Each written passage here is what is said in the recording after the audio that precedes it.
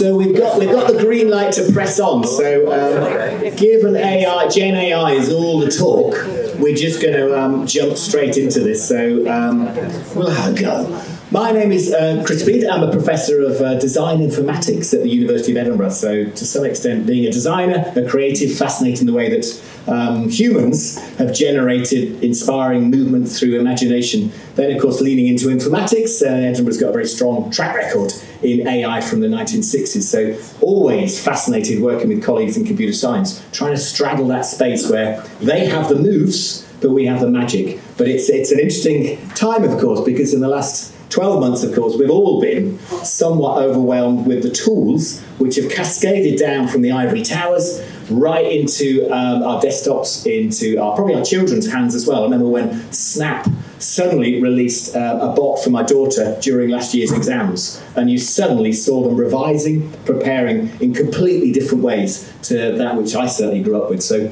really fascinating moment, I think, for all of us. Um, what we're going to do is we're going to talk about, we're going to set this up, and hopefully it's, it's, a very motivating conversation for today. I've got three brilliant panelists who have all lent in to offer questions around what the implications are for authorship, copyright, fair awards, so on and so forth, and we'll talk about these new tools. And is it truly co creative? And who are we co creating with? Because after all, of course, it's all our data. There's no bots from Venus or Mars. This is our material that we're generating in the past or in the present that then, of course, we're regurgitating through various LLMs, uh, large image models or large audio models. So, fascinating idea that when we put the bot out there, it's no longer. It's in amongst us and we're using it and it's algorithmic. Let me introduce the panelists though, um, and then I'm going to ask. I've got three questions. I thought I'd treat myself to three questions before you guys get started, but do rehearse. Um, so I'll introduce the panelists and then we'll get underway. So, Lara is an experienced strategist and policy changemaker with a, de- a demonstrable track record in evidence based policy development and influencing. She's current director of policy and engagement at Creative UK, where she works directly with policymakers, politicians, creative individuals, and organisations to champion creative industries in the UK. Creative UK is the UK's only independent network spanning the breadth of the cultural and creative industries. They advocate with and for their hundreds of members on the social and economic impact of investing in creativity. In addition to policy influencing, research and advocacy, they provide access to world class investment through a VC fund run by experts in the cultural and creative industries. Now, Rachel, this isn't Rachel, this is Ken. Now, Ken's kindly joined us because Rachel Lyske is poorly today. Um, so I'm, I've only got Rachel's bio. Ken. So listen, I mean, this is what happens. Deep fakes, right? We just manifest the deepest fake possible. Um, let's have a look. So, um, well, uh, so Rachel had and has taken a, prof- a journey that has diverged from a typical performing arts career.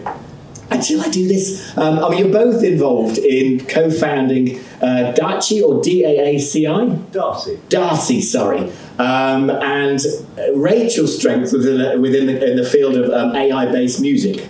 Um, and she trains a composer. Ken, do you want to just give me a clue? I feel terrible just... Yeah, uh, firstly, uh, forgive Rachel. She's uh, travelling more than Alan Whicker at the moment, uh, so has got off a plane from India with also, in fact, New York. Um, there, there's no telling, uh, with all sorts of illness.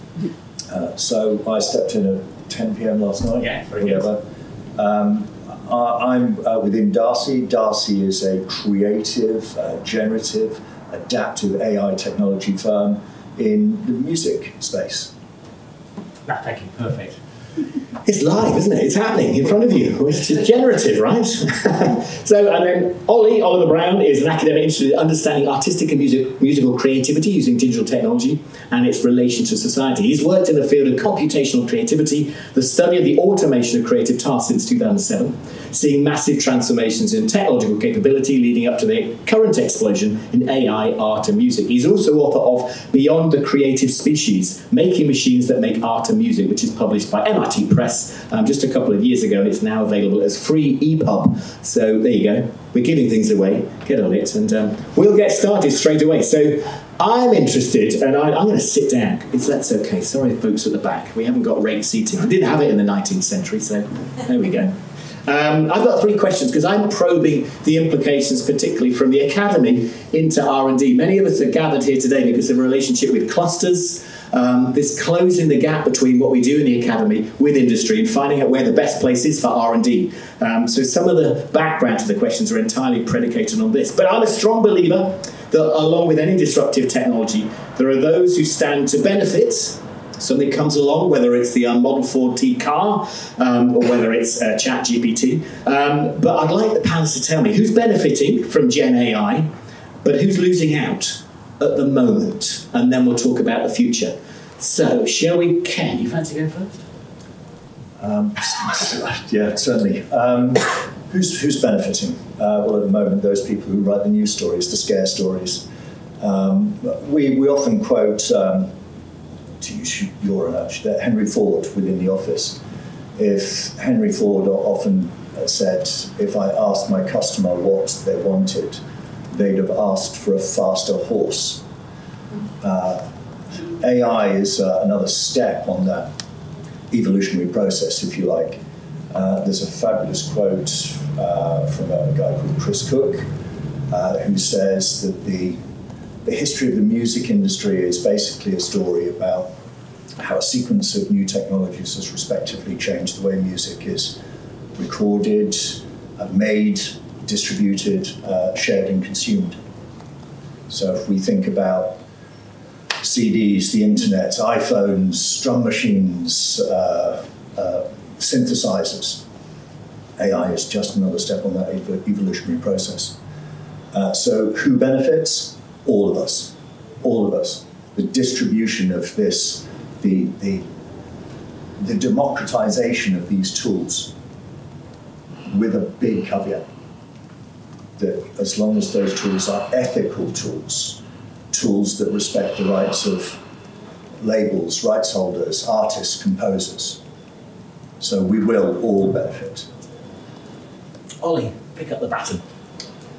Great start. Um, so I think it's a I think it's a great question because it's such a nuanced answer, uh, and I don't think I have.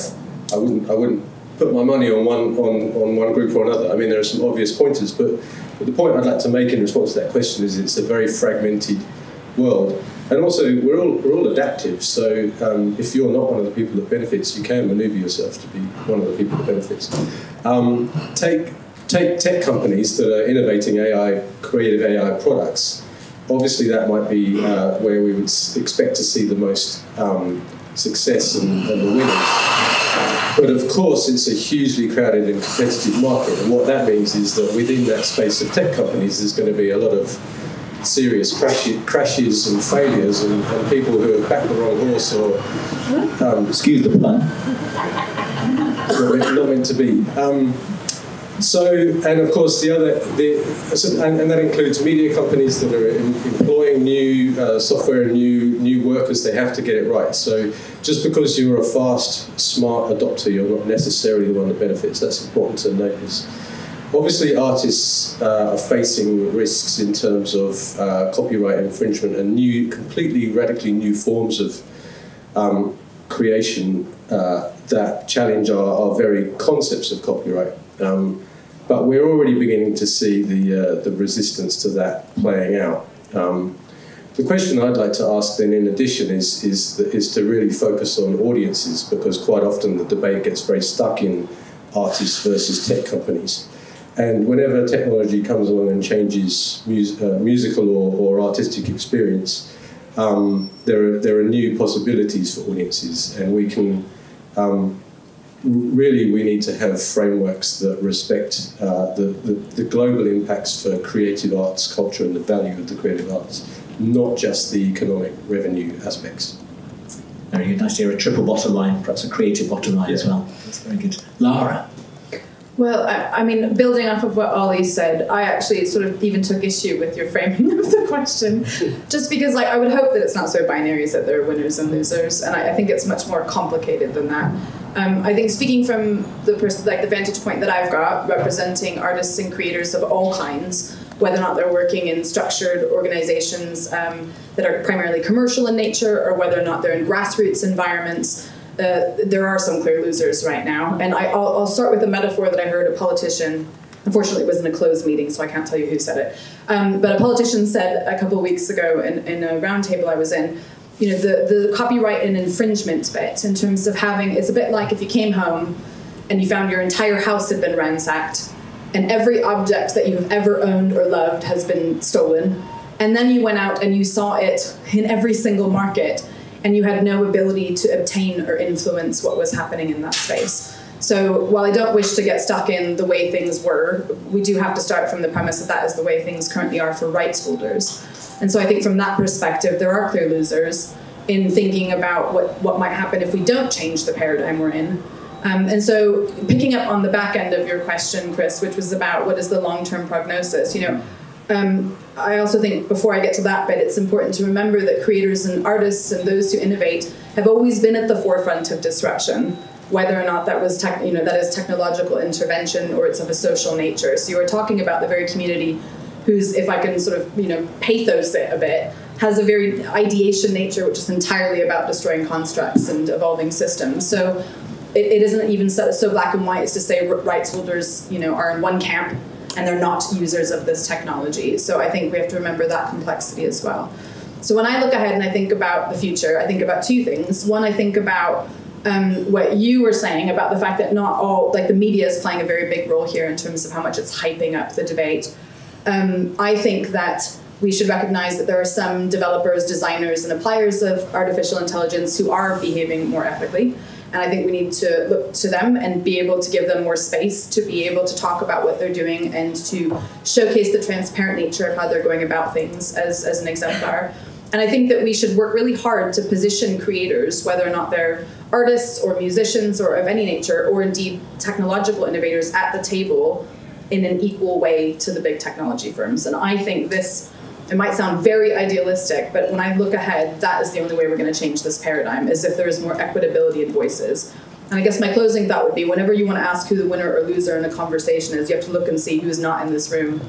And you have to think about whose voice, even in this room here, who is not in this room, whose voice is not being heard, whose voice is not being represented. And those are the real losers in the debate, right? And those are the people that we should actually be seeking to bring into this conversation, whoever those folks are.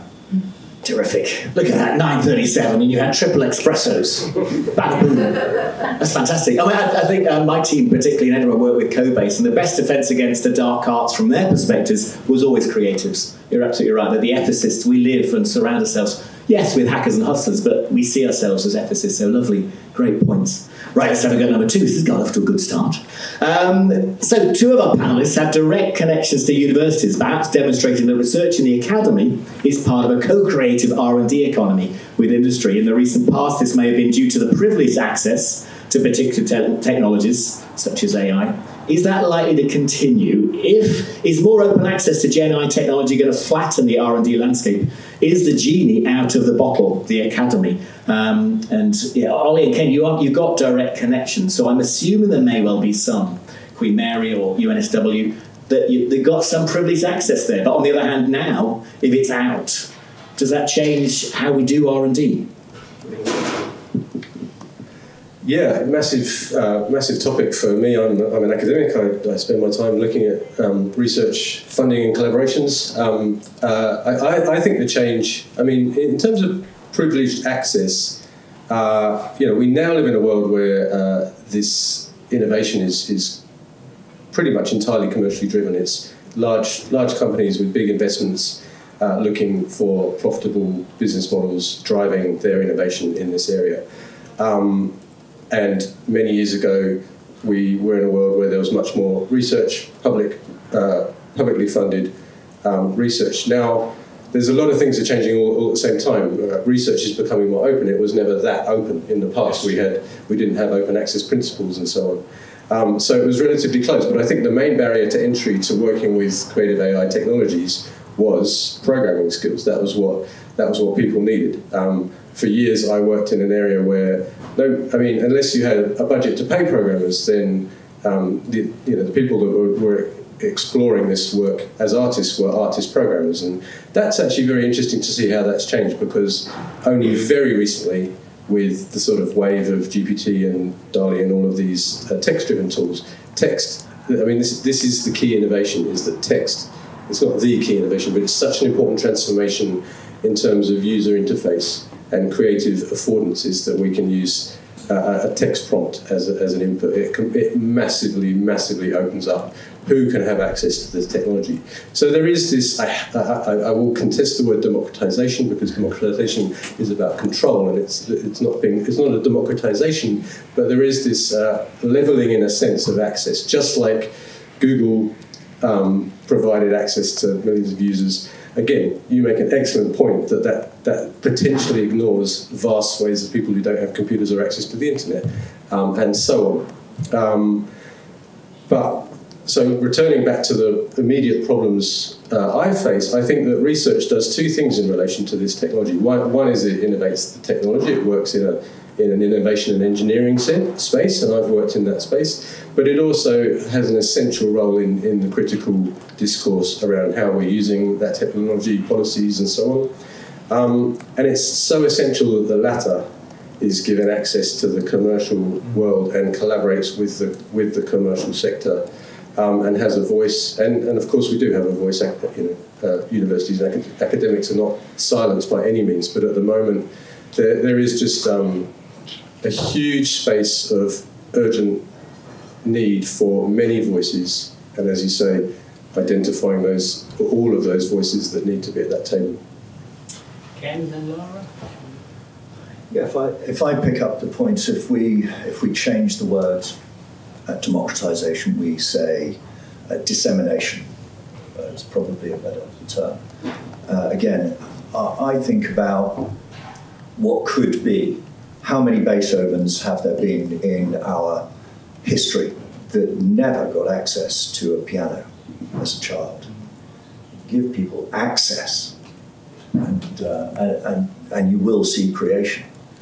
Uh, and as far as uh, funding creativity is, uh, and research is concerned, yeah, absolutely. Uh, Darcy funds uh, PhD students. Uh, Darcy has an AI lab, um, and we fund that.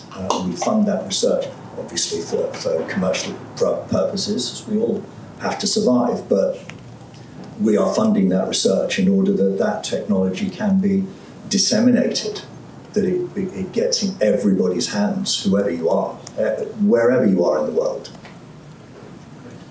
Lara.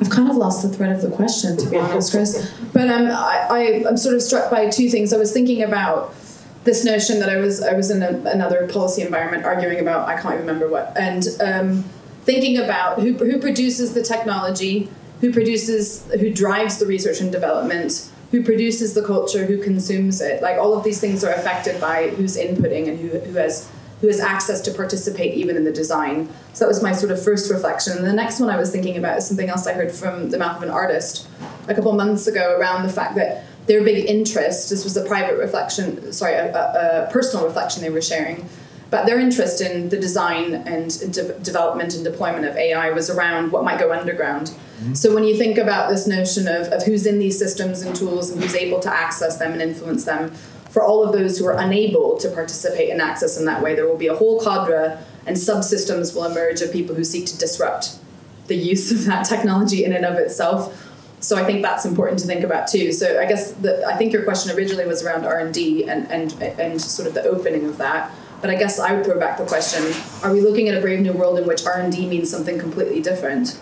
I mean, if the if the cultural mechanism that we then encode, the way the sort of AI is getting deployed across our entire systems and institutions, proves to be in the way that some people are painting this world, then the true R and D won't be an R and D anymore, will it? It will be out with those systems that would be my challenge back. Do you like yeah, that, Chris? No, fantastic. And of course, it, bound up in the academy, we don't research. Um, my mum thinks I teach all the time. When I, students are fantastic. In fact, there are there are raw talent in terms of potentially transgressing, exploring. So the thrilling idea that again, fine art schools. Computer science schools are full of access, access probably on the outside to then go inside and tear down and explore. So um, I, I lament the loss of the art school. I remember it, so maybe we can recover that. But there's something we can do about that, isn't there? And I guess there was one other point that you just reminded me of. Sorry to come back in. Not at all.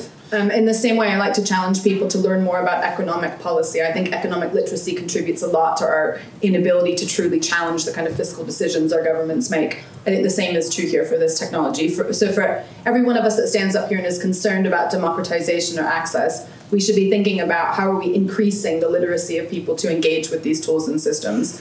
That is the most powerful way to combat the kind of discourse and public facing media narrative that confounds and sort of may hamper our ability to co-produce in more meaningful ways with each other. Yeah. So yeah, free the knowledge basically. Yeah, really. Can I, and so with that in mind, in terms of because there isn't there are business models running temporary, um, ad hoc business models. How many of you pay for GPT four? Hands up, right up. One, two, three, four, five, six. Okay.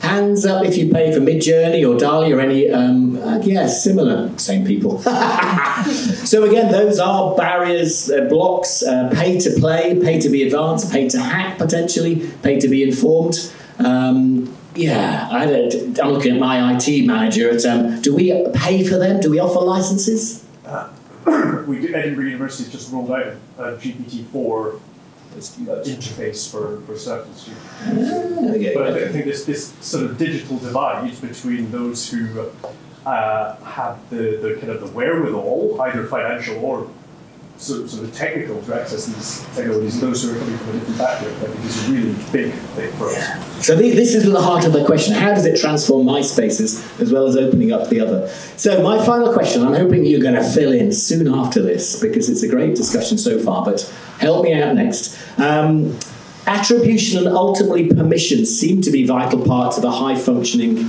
Gen AI culture. In other words, we have a lot of work to do in the short term to make sure that the large language, image, and audio models contain material that the originators are happy for us to use. So back to this question of who's going into my house, my archives, my cloud, and using my material. Assuming we get past that, and I don't know what it looks like. I have no clue whether it's, um, I can't believe it's blockchain, but there's a way to perhaps trace attribution, possibly even have kickbacks on the use of my pixels. But can you envision new collaborative cultures for the creative industries? Ones that we haven't conceived of yet? Or will it all end up in the law courts? Where does it go? Do you want to have a go first, Laura? Well, Ooh, I'm conscious there's a lawyer in the room I met over coffee or before coffee this morning. So I will start with saying I love and respect the law. um, let's hope that the law is not the only means of deriving and driving change in this construct. That would be my starting premise. I mean, speaking in relationship to the specific situation we've got here in the UK, I was very pleased to see just yesterday on Twitter slash X, uh, the Secretary of State for um, Culture, Media and Sport had hosted a roundtable discussion specifically on generative AI with the creative industries, and then finally made a declarative statement publicly about the basically the need for remuneration for creators. I mean, we haven't had a peep for quite some time, so I think there is some positive noise coming in this space. Um, but I would go back to um, something that again might sound idealistic, but I, I don't know why we have to envision this world. I don't know why we can't just take control and make it right now. I don't know why we accept the premise that the current paradigm is even okay. And I don't mean in a way where we want to sit around belly aching about how rubbish it all is, but more why haven't we just dragged our seats to the table and said now it's time to change the nature of what's happening? Because there would be none of these tools and systems without the incredible gifts of innovators and creators and musicians and artists. And that is what, in fact, feeds these machines and tools and systems. So I come back to this notion that if we can get it right for creators, then we'll get it right for UK PLC we'll, get it right at large for economic reasons, we'll get it right culturally, we'll get it right socially. So I would like to just flip the whole thing on its head. And when I think about think about how we can change it now, and the vision that we should should bring to the table now is let's get it right for creators first. Why, why do why do creators have to be the last seat at the table? Yeah. Uh, okay, so you, you, asked us to, to, sort of try and put this conversation into the future, and there's a there's there's um, a technical possibility that I think I think we need to be mindful of because I, I, I think everything you say is right about the current state of affairs with uh, mass scraping, deep learning techniques. What, what I want to ask is how quickly might we uh, encounter new techniques? And I think the answer is possibly very, very quickly. In fact, Darcy um, is doing is doing things like this, where you're building very powerful generative AI systems, and they don't actually rely on people's data. And like, I mean, these might be rule-based systems, good old-fashioned rule-based systems. I believe that's where Darcy's working. Absolutely. This is this is really important to see uh, kind of the, you know the tidal wave is followed by another tidal wave. Um, we've done all of this fighting for protecting people's right not to be trained on, and I think that's uh, on the face of it a very a, a, very important and I mean there's a there's a clear moral case and it's pretty pretty clear cut. My question though is we it seems like what is very likely to happen is that the world becomes literally flooded with copy uncopyrightable creative content that can be produced by anyone. Uh, and I don't think we have good answers for how we protect creators from that. Um, and it's a different type of debate, and it, and it completely uh, is a debate that's kind of happening not necessarily in the copyright space. So there, I'd be a radical lefty, uh, but you know we, we need to we need to constantly be looking outside of sort of individualist capitalist frameworks for supporting the arts. Sets up Darcy. Go, go.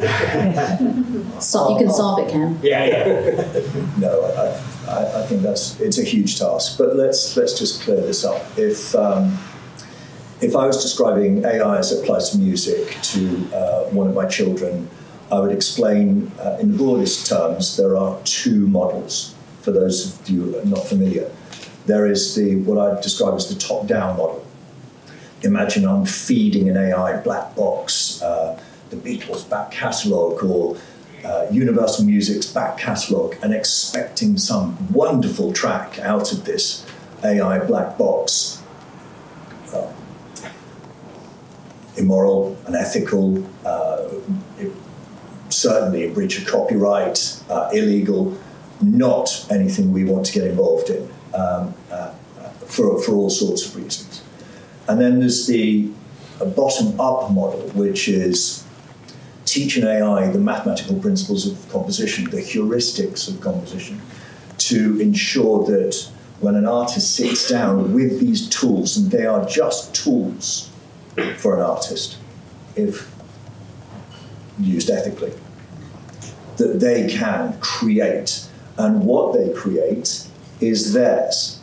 Now, certainly from our perspective, there are large language models that say, I want a, a rap track, 130 BPM, give me. Attribution is key here. There is no level of human artistry in that. There must be a level of human artistry sufficient to secure copyright. If you don't secure copyright, there's no revenue. And the swathes of uncopyrightable music going out there into the marketplace, uh, again, a, a, dreadful prospect, uh, not something that we want to uh, enjoy. So, yes, on a daily basis, we fight for the rights of the artist, uh, the rights holder, the composer, to give them new opportunities, to give them revenue streams that they wouldn't have otherwise seen. Uh, imagine a world where, looking at the audience here, who, who who's done any gaming, uh, online gaming in their leisure time imagine a world where I can enjoy that game and it's not five guys in LA that have frankly decided the soundtrack to the game you're playing globally. Uh, imagine a world where the geographies, cultures, uh, genres, individual tastes are, are, catered for, but not just that. Uh, the, dynamic gameplay uh, is uh, the music is adapted against your dynamic gameplay, against external inputs, speed, acceleration, against emotional components. Imagine a world where we're playing Call of Duty and with respect, you're kicking my ass. Oh, yeah. So uh, your your soundtrack should be triumphant, and and you're set in Guadalajara. I'm in Sydney, Australia. Our soundtrack should be different now done correctly, there are revenue streams for artists globally, not just five artists who get the commission for Call of Duty, but everybody. Uh, we're opening up, uh, certainly our goal is to open up new revenue streams, new opportunities for artists the world over. Artists to collaborate. A kid in Guadalajara is a genius at beats uh, and then there's another one in Sydney, Australia, who's fabulous at orchestration. Get them together. What can they create collaboratively? These tools can allow that. And again, ethical tools with attribution, having secured the copyright and the level of human artistry, um, will will see the entire market lift, and, and us as an audience benefit from that. I love it. That was good. That was a good half hour. Um, right now, it's your job. Okay, I have to spend some time thinking about those on the train down. But um, any questions now? To here we go. Terrific. So please say your name when you grab the mic, and um, we'll see if they're directed. Thank you. Um, I have two questions. The first one is for Ken. Actually, just picking up on one of the last things you said It was about needing to have some element of human artistry. Yeah. So I'm going to put you on the spot and ask you to define that a bit. Um, but before you do, I have a more general question for the whole panel, which is I think it's wonderful this idea that somehow we're going to protect copyright. But there's a dark place inside me that thinks actually we're entering into a post copyright era and that actually remuneration is going to look very different. Um, and so rather than sort of stomping up and down and saying, how are we going to protect this thing that we've already had, that we've al- always had, that actually has been relatively recent in the span of, of human history, the idea of copyright, how can we look forward to how to manage a society where that's not possible? Thank you. Lara's ready. So. Well, I only have one useful thing to say, so I thought I'd get in there first before someone beats me to it. okay, so if I take the premise that we're entering into a post copyright age, which is a, a really great challenge, I wonder if there's just one principle that we could take forward that there has to be better balance between who generates value, who creates that value, who extracts the value, and who profits from it. If we just took that as one principle in which we sought more equitability, I think we'd be in a, in a very good place. That's it. Thank you, Ken. Given the answer. Yeah, uh, a great question. Um, yes, we do deliberately set the benchmark very high, um, and from a user interface, uh, those tools that allow you to create me a rap track, create me 130 BPM, whatever it might be, uh, the benchmark is so low that the industry will determine whether that is copyrightable, whether the level of human artistry is, is has been achieved. Uh, from our perspective, we do that internally. We decide as a company of composers, artists, lecturers, we decide internally how high that benchmark has to be. And, uh, and with lawyers, with um, legislation, with rulings, we say, yes, if you use these tools, yes, the level of human artistry is sufficient to secure copyright. Now, I would also say these are digital tools, and we can track every single note created. The output, every note is created, and attribution is key.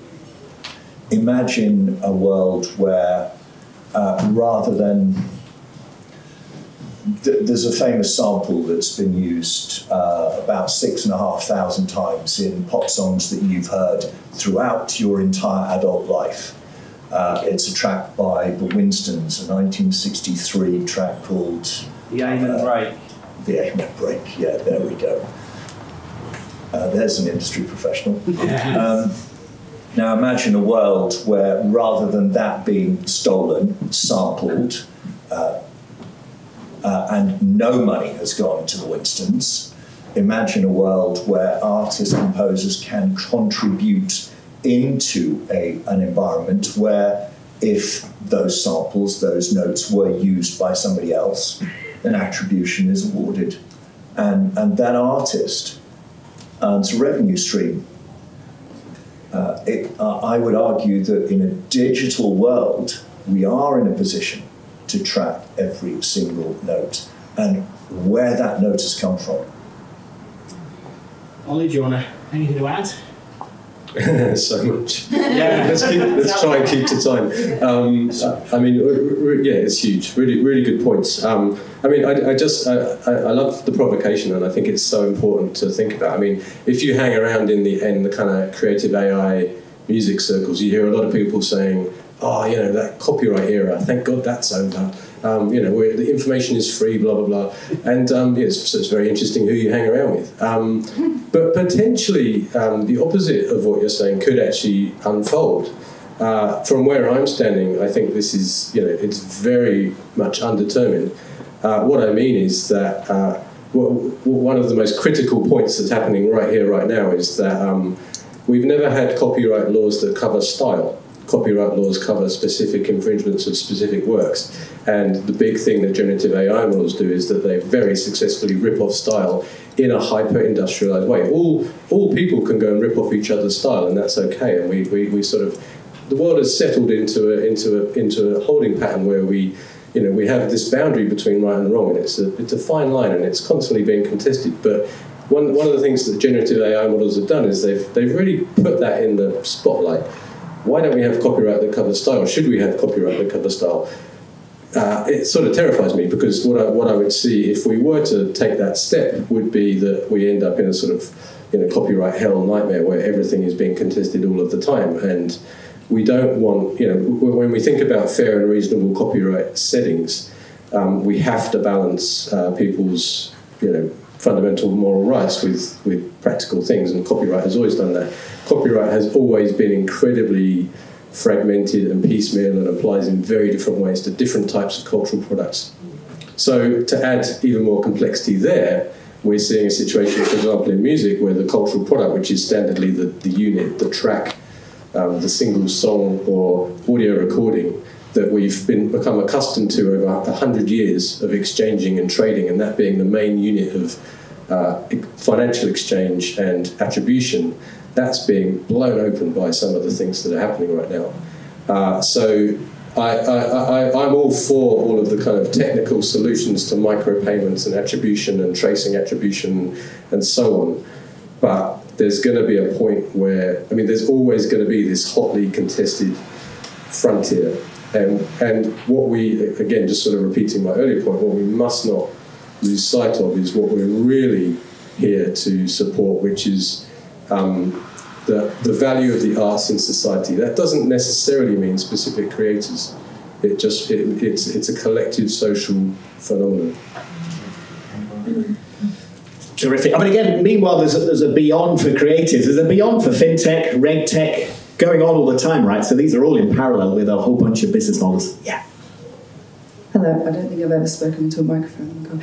Um, I'm probably the youngest and least experienced person in this room, um, but hang on there, hang on there. You can't judge a woman by her age. um, but my, I suppose it's for the whole panel, but I identify quite closely with Lara because my master's was from the Centre of Cultural and Media Policy Studies. But I suppose before you call me ignorant, my question has a bit of background to it. But I suppose I want to ask why do we need AI? Because as someone, I'm a student, and this might shock people, I'm a student who's never used ChatGPT. And I don't really want to. I've never, I, my master's, everyone else in my course, I was the only British person on my course. Everyone else used ChatGPT. I never wanted to do it. I just sort of have an aversion to it. And I suppose my experience of AI is quite surface level. It's through LinkedIn AI now that they have, and things generated by AI that you see on Facebook. It's like, oh, what would this have looked like? How many, many years ago AI generated, and things like that. Um, and I'm also a creative person. I write, and I've never wanted to use AI to write things for me because I think, and I felt a quite disadvantage when other people did because I think it takes away an aspect of originality and creativity because although it as you said, there's a level of human artistry to it, and you need that level to create things. I think it's drawing upon things which already exist, as far as I know. AI can't generate things which haven't already been generated by someone else. And you can argue that originality doesn't exist anymore and nothing new can be generated, but AI can't generate something that hasn't existed, whereas a person can. And so I suppose why do we need AI to do things for us? Nice, nice, nice question. Good. Who wants to have a go at that one? Straight from the heart. Just, I just um, thanks for that that question, and it's um, yeah, good on you for being a student who hasn't used GPT. Um, keep it that You're way. the last. you might be the only one. Yeah. I wish you very high high grades. Um, uh, so, I mean, you're actually touching on uh, a very old debate because that goes back to um, Ada Lovelace um, talking to Charles Babbage about the uh, the very nature of machines um, uh, capability to originate anything, which may have taken place in this room, as far as I know. I don't know, it's just somewhere around here. Um, and that's you know, that's a 19th century uh, topic which which rages today. Um, so I, I, I have a particular take on that, and it's one of the things that um, I've that, that I do kind of I have worked through over the last few years in terms of creative autonomy of machines. Um, I, would be careful about assuming that uh, even even very blunt um, uh, machine learning models that perform uh, supervised learning uh, can't originate things um, because uh, essentially there is i mean th- this is what's being investigated quite closely at the moment in terms of gpt and its capabilities is that it does have emergent properties. It's a system of such complexity and such scale that emergent things start to happen um, i think noam chomsky just recently wrote this sort of brutal article calling it um, a, a, plagiarism machine, and that's that's certainly a take that I'm completely sympathetic with. I mean, it, it, it, um, it ingests lots of people's content and then it produces content that's very much like that. But I just, I just, and yeah, this is a very kind of weaselly minor point, but I just want, I just want to draw attention to the fact that there is potential for creative emergence to happen in a complex system like that. And uh, again, just just to bring it to the future, um, right now, what people are doing is uh, particularly OpenAI and the companies that are driving these things, is they're plugging these incredibly complex, sophisticated systems which can perform basic reasoning and basic um, concept manipulation. And they're plugging them into the internet and making them feed back on themselves. And if you've ever sat there and watched, um, there's, there's a tool called GPT Interpreter, which is, uh, it actually writes code, but then in addition, it runs that code. And you sit there and you watch it. You, uh, I did this the other day. I said, I said, here's a waveform here's an audio file. Please write me the code to extract the fundamental frequency from this audio file. It says, here we go, let me look on the internet, oh, we can do this. It writes this Python script and it runs it in, in front of your eyes. And, and um, uh, actually, what's quite funny is like sometimes there's an error and there's a, there's a bug in the code and it says, oh, hang on, I've forgotten to import this library. Let me just correct this uh, floating point um, arithmetic, and here we go, now it works. And, and so what you're seeing there is a system that isn't just regurgitate, isn't just a feed forward process, it's actually an iterative process. And it's terrifying. Um, and uh, you know, you really, you know, that's, that's probably my biggest moment so far to date of, of looking at a system do something and just going, stop this. Um, and I think in the generative space, it's a very short leap to the point where we have text to audio generators being directly fed into a music streaming platform. I won't suggest any names. Um, that that then you know gets gets some audience response and you know human feedback that then adjusts what it generates. And at that moment, you cannot say that these dumb machine learning systems are just merely plagiarism generators. They can originate stuff. Yeah. Sorry, Lauren. Ken? I'll be really quick. I'll say yes, absolutely it's called learning. Mm. Uh, we, we walk into schools as a blank canvas and we are taught, uh, you know, musically, musical theory. Uh, you teach these AIs musical theory. Uh, absolutely, they can generate and, and do generate. Uh, and it, it's, it is just learning. Lara?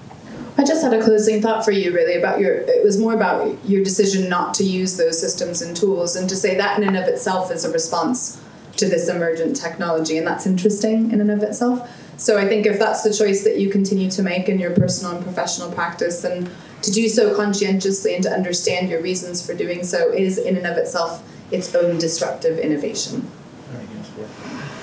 Yeah, I think it's fascinating. I've got a, probably in another world, another intersectional um, part of a city. Someone, I, mean, I don't know you are a Washburn middle classes. We probably wrote to our primary school teachers and said, "I'm uncomfortable with my son or daughter." Many other people in the in the city in the community haven't got the confidence to write.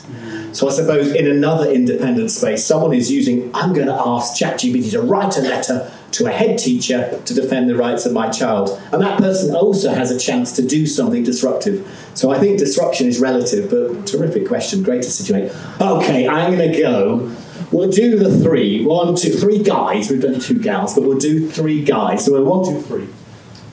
Hi, thank you. My name's John. Um, I had a question about copyright, and it started off with the politicians um, analogy, which I think is really reductive, because I, I really question whether uh, a law court or a whole swathe of people are going to agree with the panel that it is copyright infringement. Because is uh, a human artist who is inspired by photographs they might have seen or paintings they've been to see in a gallery then creates an artwork, that's not copyright infringement. It can be when you start to incorporate specific bits. Um, but that's another level. But in general, what's happening with AI, it's behaving like a human brain. That's the whole point. It's a neural network. It's not a database of JPEGs that have been scraped. That was how it was trained in the way that we're trained by observing as we go around. So I think it's much more complex than that, unfortunately, because I do agree attribution is, is key. Uh, and on attribution, as a follow up question, is it actually possible to go back through a neural network to attribute a specific artist or creator because the AI engineers can't even explain how it spits out what it spits out because it's operating like a brain that's already ingested this information. Good question. Getting into it now, aren't we? um, go, Ken. Um, okay, I'll, I'll attempt uh, to answer that question. Uh, I'll try anyway. Um, uh, the, the, first answer is uh, can an, an, AI analyze a piece of music and determine uh, the, the component parts of that piece of music? Yes. Uh, music information retrieval is a long uh, studied discipline. what AI has allowed certain fields to be able to do is to analyze music at, at vast, on vast scales and effectively create what you might imagine is a copyright tool. Is to say, this track is, I, I'm a, imagine I'm a label, I'm sat in an office, in swanky office in London somewhere, and a new artist comes in with this fabulous track, plays it to me, I love it, but I throw it into an AI and wow, that is absolutely so close to a track that was uh, originally published in 1961 uh, okay. Uh, what you must also be able to do in terms of copyright is one of the principles of copyright infringement is I must prove exposure to that track. I must sit down with the artist, have you heard that track? Um, and if you can prove that you, yes, you've been exposed, intent, blah, blah, blah, blah, you're in breach of copyright. There are accidental uh, infringes, infringement of, of copyright, certainly. But yes, an AI, all of these tools can analyze music and determine to the best of their ability that this is very close to that track. Now, it is then up to the law courts to prove those principles of copyright infringement, uh, starting with exposure now we can move through questions faster or uh, i just wanted to add just just to clarify for the audience i, I didn't say i agreed with the politician's metaphor I, I thought it was a very useful metaphor for pointing out the extent of the power imbalance most of all so not even about the copyright issue in particular do we move on to another? Or, oh, you want to go? Yeah. I'll just I'll just say one quick word, which is I think it's, it's you, you touched on a really important point because a lot of a lot of technologist minded people are sort of saying, well, I don't get it. What's the difference? This is this is what humans do. We we listen and we're inspired and we reproduce. So what's wrong with the machine doing? The point is, it's a political it's a political question, and and ontologically, it's like it doesn't matter if you build a machine that really resembles a human creative process. It's it's owned by a corporation and it's um, embedded in, in a socio-technical web that's completely different from the way that we exist in the world, and that's really essential. Right. Right. Uh, Hi, I'm Josh. I, I work for the London Borough of Lambeth specifically as a creative economy manager, so uh, intrigued by the intersection of policy here. But this is my second conference plenary in two weeks around creative industries and AI. Um, and Lara, you're really beautifully articulated point the real losers are those not in this room, not in the room discussing it, or don't even have the opportunity to choose not to use ChatGPT. Um, this is a massive question. I don't expect the, the resolution in this moment, but how do we bring people, especially in my case, I work businesses, but also residents, how do we bring people into the room? We talked a lot about the academy today.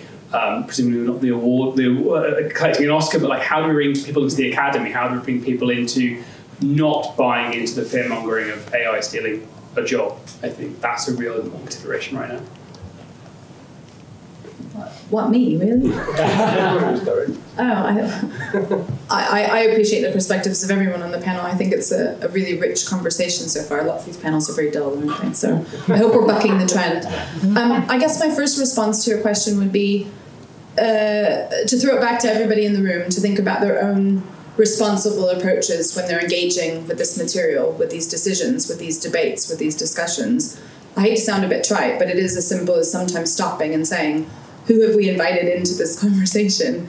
Who have we facilitated to be here today? Who have we actively supported and in reach to? How accessible is the conversation that we're having? I mean, uh, to your academy point, I did have to ask Chris before the panel what he meant by the academy, so you're not alone. um, but I also think things like m- the myth busting bit that I think you're also referring to starts with creating space in which people can have honest, frank conversations. So that has to start with language that's accessible for more than the vantage point that even you, you know, as a leader in Lambeth will be using, and to think about how you create space in which it's all right to ask questions that may or may not make sense, and it's all right to say, I don't understand what you're talking about. And I think um, we would all benefit from taking those kinds of approaches into most of our conversations. So it might sound very simple, but I actually think those two interventions in and of themselves would be quite radical if you were bringing them into your, your daily work, probably.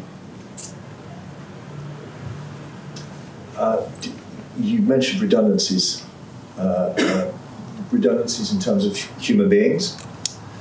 Um, I'll say my wife lectures in education uh, at a university in the UK, remain nameless.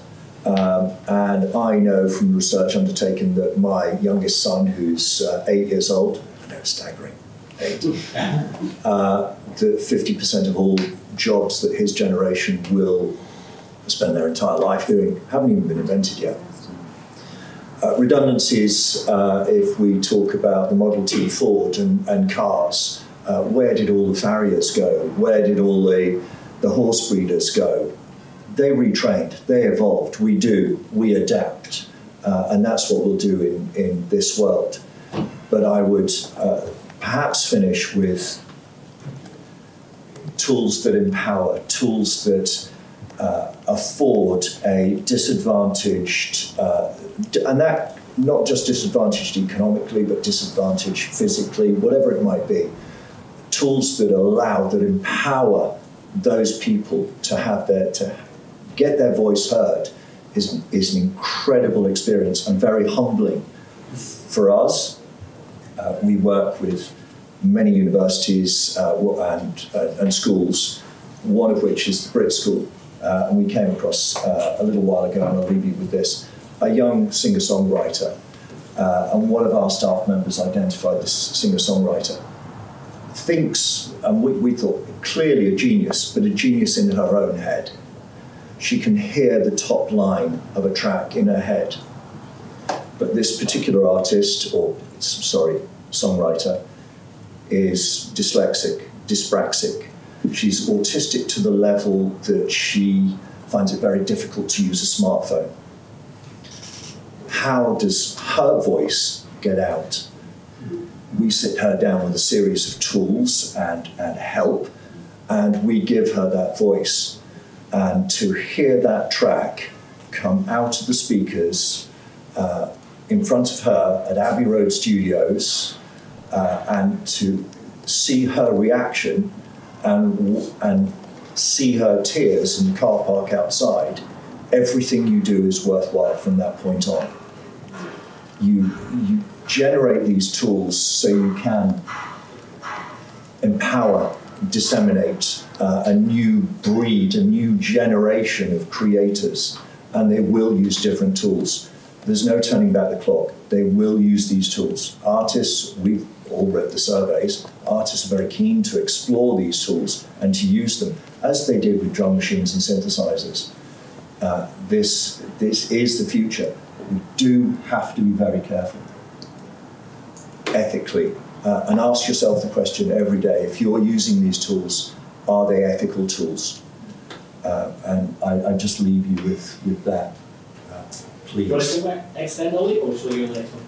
Uh, just, just a yeah, tiny sort of reinforcement. I mean, I, I, it, it's a great question because it's a reminder of the ways that we that new new AI tools will uh, have great benefits as well as potential risks. Um, supporting grassroots youth cultures, um, and, and coming back to the discussion of amen breaks and samples, that was you know sort of where I cut my teeth in music creation. Um, which it broke, it broke rules actually, and it infringed copyright, but it created incredible cultures, pirate radio and so on. Um, so just taking a free form approach, seeing what's actually happening, what kids are interested in. Um, and I mean, yeah, to, to talk up those, the kinds of tools that um, you're building, um, enhancing music education is a massive one because access to music education is such an uneven space. And sorry, I do talk entirely in music. Yeah. Everyone can apply this to art, different art forms, but um, uh, you know, I, I, think that's a really interesting area for AI. For example, I'm a, I'm a musician who was never trained and doesn't have very good music theory, and I really see the value of those tools to actually help me understand why a certain chord does a certain thing, not just to generate it for me, but to help me in, be engaged in a music creation task. And, and we mustn't forget that, that, that those tools can be um, stimulating aesthetically, intellectually, in and of themselves as activities in themselves, as well as just a means to an end of producing outputs. a question here, and then I'll look for the last one or two questions. Um, hello, my name is Piotr. Um, for disclosure, I'm a speaker tomorrow at another panel. Um, I have a question regarding um, this um, idea of extreme personalization. So one of the um, suggestions I think about what was given at the end uh, of the the, the main discussion um, was that maybe users and uh, cultural consumers could really enjoy having very highly personalized uh, cultural artifacts. So let's say here music that corresponds exactly to the uh, to, to what happens in the game with those specific characters. But isn't this exactly what generative AI is much more capable of doing, as opposed to um, the uh, traditional forms of AI or traditional generative models, which are much more heavily curated and dependent on the uh, on the engineer's choices. And isn't and can't you just or can't you also say that the uh, generative AI, it, uh, open source tools allow people to retrain those models and to remix constantly, and so effectively with all the um, issues of copyright that come with, all, with, with, them, they are also empowering users with the capacity of remixing everything they want and to, mm, uh, to explore creatively. Uh, I, would I'd say yes. Uh, Hyper personalization is, is something that you can explore, you can have, or, or choose not to have. Um, as far as mixing is concerned, well, ever since somebody put a sound uh, card in a computer, you've been able to do that. Um, and it's at the heart of everything creative that we've listened to over the last 30, 40 years on the, the radio. Uh, artists have have listened to what has come before and created, remixed it, uh, legally or not. Um, so it, it's it's the status quo. Uh, it's it's happening right now, and it's been happening for the last 40, 50 years. I, I only had a cheeky reflection, which is completely irrelevant, but sorry, just crossed my mind, so I'm going to say it. I was just wondering if we could we could reverse engineer that capability so that you don't have to listen to certain types of things in public spaces. great, great point. Um, and uh, just, I mean, just to echo the great point about open source, which hasn't been mentioned yet. Um, it's uh, in in my experience of 15 years working in creative technologies in an academic context. Um, there's so much cultural vibrancy in open source software communities, and uh, I, I don't know, maybe those, maybe those things are being eroded and that we actually just need to get behind open source initiatives. I mean, there's lots of talk about data sovereignty, you know, and AI model sort of, you know, sovereignty and those kinds of things. Uh, so yes, I mean a, a, a, great simplistic response is let's let's support a pluralism of approaches. Um, and I forgot the other point. I've got a, a, question here from the audience. Hi, so I'm Achal. I work with the British Council. Uh, I work with the India Arts team. And my question is around this pluralism and kind of being more inclusive. And while we're in London, and this is kind of a UK centric thing, I want to know, I want to tell you why this is important for us. Is that uh, the world over, mostly global south, does look at UK and US as being sort of the forerunners in figuring out what governments should do, what industry should do. A lot of what we consume comes from predominantly still the UK and the US. And so everything that you say here has great implications actually much beyond your borders. And so if we are looking at a more inclusive table, um, it is also important to reflect on all those other voices that are being left out, um, especially in context of people who are not on the internet but are creators. Is it time to, therefore, in this large library that AI would be using, would it be possible for now for them to be included, who has been included, uh, excluded till now? We go back to Lara's point at the start, don't we? Sorry, you did set yourself up, but it's good, it's inclusion. Well, it doesn't. It shouldn't be very radical to have to argue for inclusivity, should it? But um, uh, but I do feel like every time I'm able to have a public platform, I do start from that position because I'm, I'm just very conscious of that. Um, so with respect, I can't answer your question technically because I'm not that intellectually capable, but hopefully my two panelists next to me can. But what I would say is the presence of the global majority, in particular, in relationship to cross country collaboration, is mission critical to creating something more equitable, particularly when it comes to the design, use, and adoption of technology. So I think that I take your point um, with a bit of pain about the position and status of both the US and the UK as a dual citizen. Uh, so I'll, I'll, take that both my, my lumps of coal, um, but also uh, respect that position by virtue of its its power to be able to celebrate and amplify what should should exist and what should be good and right in the world. Um, and I do I do take your point in particular about the cultural and creative industries policy aspect in the UK being a vanguard for lots of places in the world. So please take it on behalf of at least my organization, Creative UK, that we will absolutely keep banging that drum.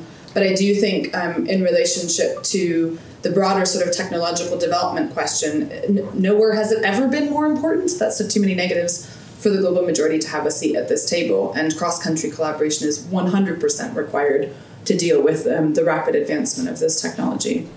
I hope you guys can answer her technical question because it's a great one, yeah, actually. Where's there space for makers and creators who don't participate in digital environments for whatever reasons. Not sure I can answer that particular particular question, but um, yeah, I mean, it's it's it's such uh, it's such an important point. I mean, I was, I was just um, I, am currently interviewing and researching music AI startups, uh, and I've started to look at uh, Indian startups and uh, interviewed a great one the other day called Beat Beatoven. That's a generative AI tool that um, is doing incredible work, and I'm just very excited to see, um, you know, and I'm very hopeful to see uh, just a continued uh, increase of global participation from every corner of the globe. And as a as a, a musical omnivore, I can't think of anything more important. Um, and and this is really important because we have so many debates which get which are framed by national priorities. And so when I write funding applications in Australia, I have to say how it benefits Australia. And at that point, I just want to go, you know, how do I, okay, why? um, but obviously I do because that's the global politics of it. Um, and uh, yeah, I, I, mean, as to as to how um, we do that, yeah, I mean, I think we just we, we actually need to we, we need to push the argument when we're speaking in national and local context that um, supporting creative, I mean, the things I've talked about, supporting creativity uh, as, as an end in itself, as a social sort of objective, uh, has a local component. Um, you know, in Lambeth Council, there's important local things that need to be done, but uh, it has such an, such an obvious global component. We shouldn't and we should really keep that front and centre. You know, if, if, it has to be couched in the language of diplomacy or whatever, um, we're you know we're, we're all better off for uh, greater inclusion and engagement. Any thoughts on that? Yeah, the, the tools allow us, whether those tools are the internet, Spotify, Apple Music, uh, your phone, uh, uh, whether they are instruments, whether they are uh, a, piano, a guitar, it's music technology. Let's please remember that. The just evolution of music technologies. Most, most music created now, you know where it's created? In a bedroom. Uh, that is the, the heart of creativity. A young person, wherever they are in the world, and if they have access to a, a drum, a guitar, a, a didgeridoo, or an iPhone, doesn't matter. Uh, we're just really pushing the boundaries of who is able to access these tools. Uh, and I'll go right back to the, the point I made first. How many Beethovens have we missed? Not Beethoven, but how many Beethovens have we missed who never got access to the tools to allow them to explore their creativity? I'm going to treat myself to the last one. So I think the panel have done very well. What they've laid up is a whole bunch of um, bottom lines. Um, the creative bottom line, uh, the role for imagination and to be co-creative with cultures. They've also an economic one in terms of kickbacks, attribution. Somehow or other, someone will figure that out. Unfortunately, Lara, you mentioned the coal. What about the environmental bottom line? What do we do when we speak of the shift when actually these tools are north um, global north, and actually climate crisis and climate catastrophe is going to affect people now and in, in different spaces which have not got the same benefits to weigh up the losses. So that makes sense. They're probably seeing the losses against our benefits. Um, what do we do with a bottom line that speaks to the moral environmental responsibility? Sorry. I know. Let's go. You said let's make it spiky. okay. Um, it's a really great point, and uh, like I said, Creative UK is currently um, just beginning the process of doing really deep dive interviews um, in different subsectors across the UK in relationship to um, their positions on AI design, development, and application. And the climate action, climate change piece is probably the one in which every conversation I've had so far, everyone's going, yeah, we're trying to. They're trying to pull through their existing positions on what they think about the world in relationship to climate change and bring that round to the AI corner, I'd throw that back and say, what is the line from big tech on this? Because actually, with great power comes great responsibility. So if we require cloud computing on a scale that we simply find is not feasible given the state of our burning planet, um, I, I would say we have to ask those who are developing to come with the solutions at the same time as wishing support for further expansion. I'm tr- not trying to squeeze my way out of the question, but I can't no, be. An, it's, it's a tough one. Well, and I can't be an expert in everything, Chris. Do you want to have a go at this? It's a spiky mic. It's a hot mic. Yeah, yeah, yeah. It's, getting, apologies. it's definitely getting warmer. Um, I, I, don't know. I think I have a, a, a the, uh, in terms of energy emissions, um, the climate crisis. Uh, I mean, the, the, the, obvious thing is, is is the stuff that happens at a global, international, collaborative level that is blanket um, management of the problem. And specific industries need to do their specific things. But I mean, I'm, I'm really just a strong believer that um, everything comes down to global um, leadership and collaboration. Um, but yes, uh, individual companies can just take a moral stance because the people that work in those companies are humans and take a moral stance. And you know, there's um, so I, I guess yes, we can resist certain directions. I mean, Bitcoin was and NFTs were uh, we seem to have forgotten completely that they existed, but yeah, they, they, were, they were a hot thing a couple of years ago. Yeah. Um, uh, and yeah, there was a lot of debate about that, and and um, it's quite nuanced. I mean, I mean, some some speaker somewhere in uh, some context said, you know, if you just if you just price. If, if you actually just price the, the cost of use of it, we all use electricity all the time. Mm. Um, we make personal choices about where we use electricity and, and, and how and what, what's right and wrong. Um, at the end of the day, you, you have to have a global top-down sort of control. Last word, Ken. Yeah, it's, it should be on everybody's agenda. Uh, there's uh, there's an environmental consideration for everything we do. Uh, if we just think about music, yes, from the first person who chopped down a tree to say, I'm going to build a, a, a piano, to everybody's running around still buying vinyl. Well, vinyl's, it's an oil-based product. Uh, so yeah, there are considerations for every stage of our evolution. Um, so keep it at the very top of our agenda. Great. Look, that's been a good hour. Thank you. So, thank you to panelists. Did a good job, didn't they? Good, um, great questions as well. Really nice moments coming from different perspectives, um, understanding how we engage with it. So thank you very much. I think there's probably more coffee downstairs, but um, thanks, folks.